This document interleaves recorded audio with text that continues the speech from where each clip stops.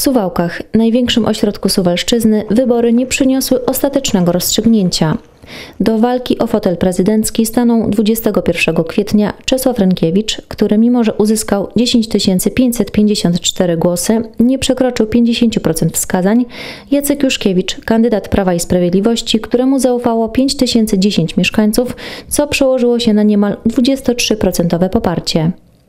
Rynkiewiczowi do zwycięstwa choćby jednym głosem zabrakło bardzo niewiele zaledwie 361 wskazań, ale zasady to zasady. W powiecie suwalskim tylko dwie gminy nie musiały dokonywać wyboru wójta. Za lub przeciw wypowiadali się mieszkańcy Przerośli i gminy Suwałki. W Przerośli ponad 81% wyborców poparło kandydaturę Marcina Brzozowskiego, a w gminie Suwałki 83,49% wyraziło akceptację dla Zbigniewa Mackiewicza. W powiecie augustowskim podobna sytuacja miała miejsce w gminie Sztabin, gdzie jedyny kandydat uzyskał akceptację ponad 86% głosujących i w gminie Bargów Kościelny tamtejszy kandydat jednak zdobył ponad 94% akceptację elektoratu. W powiecie sejneńskim rekordowe ponad 92% poparcie uzyskał jedyny i, co warto zaznaczyć, wieloletni gospodarz gminy Puńsk Witold Liszkowski. Również nie miał konkurenta.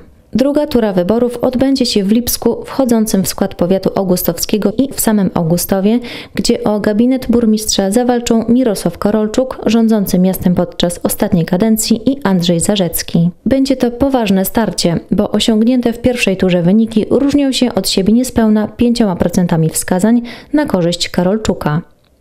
Wiele więc zależy tu od mobilizacji mieszkańców. Nieznacznie większa, bo około 6% dzieli kandydatów na włodarza Sejn. To w drugim starciu na wyborczej arenie stanął obecny burmistrz Arkadiusz Nowalski, który uzyskał 37,32 poparcia i jego kontrkandydat Dorian Krause, którego w pierwszej turze poparło 43,3% Sejnian.